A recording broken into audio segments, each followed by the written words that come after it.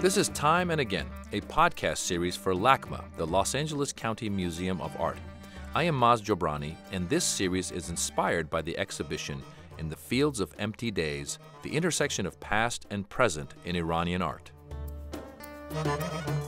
Though Iran is often in the news, for most Americans it is little understood. We have asked a group of experts on Iranian culture, academics, curators, filmmakers, and artists to open a door for us into Iran.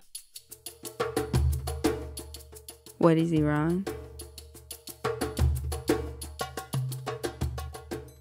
every single Iranian you will speak to will give you a different answer in terms of what is Iran. It's a very special, very personal relationship. Not surprisingly, they each ended up focusing on poetry.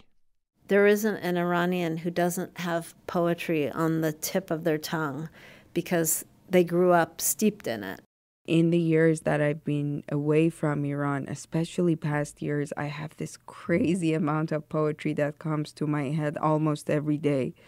So at, at, the end, I think I could say Iran for me is a lot about poetry. I think that Iranian people are survivors, and much of the reason they survived the tough time um, has been um, in their relationship to allegorical language and to poetic language. And when I say poetry, the main one that comes up is the epic Shahnameh. It was written 1,000 years ago and serves as the cultural and moral backbone of Iran. Many of the artworks in this exhibition are inspired by it. The Shahnameh is full of extraordinary stories with unexpected heroes. It's an incredibly important poem in Persian culture, and it has some of the same power as the Iliad and the Odyssey of Homer does within uh, Greek culture and world culture as well. That's LACMA curator Linda Komaroff. Linda is the woman behind the exhibition that inspired this podcast, and she will join me throughout the series. She will help us understand the ongoing significance of the Shahnameh and how artists continue to be inspired by it.